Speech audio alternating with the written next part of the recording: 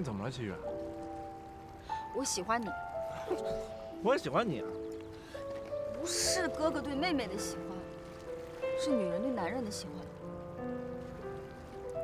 方玉斌，我喜欢你，你当我男朋友好吗？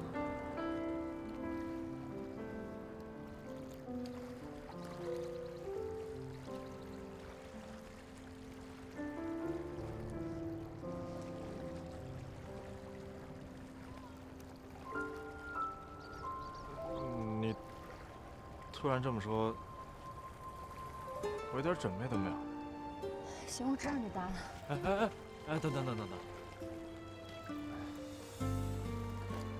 咱们把话说清楚。你要我说什么？就咱们俩的关系，你突然这样，我一点心理准备都没有。喜欢一个人需要心理准备吗？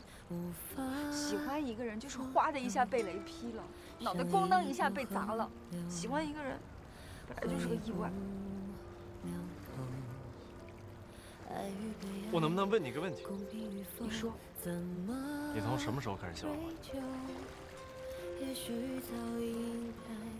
十年前，十十十年？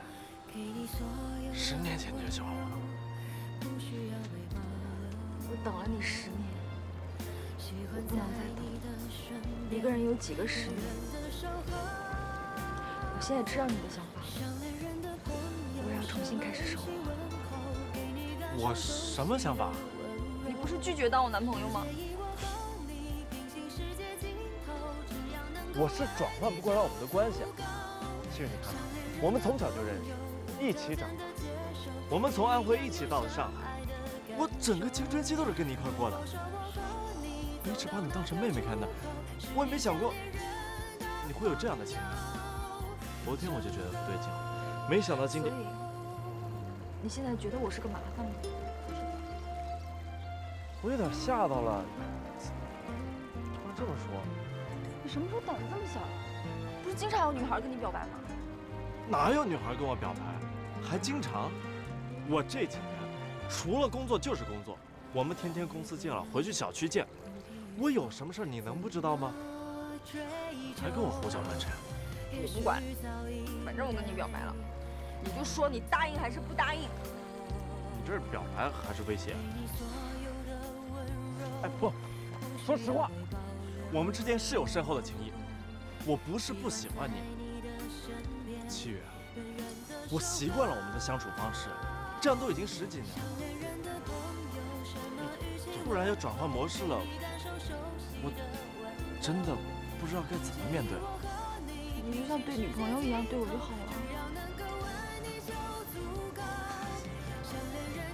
七月，你说咱们俩这么熟了，你不会笑场吧？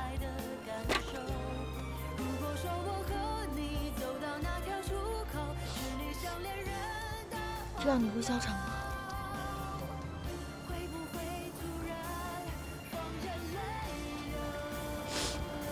我听到你的心跳了。心脏不跳就死人了。你还是不喜欢我？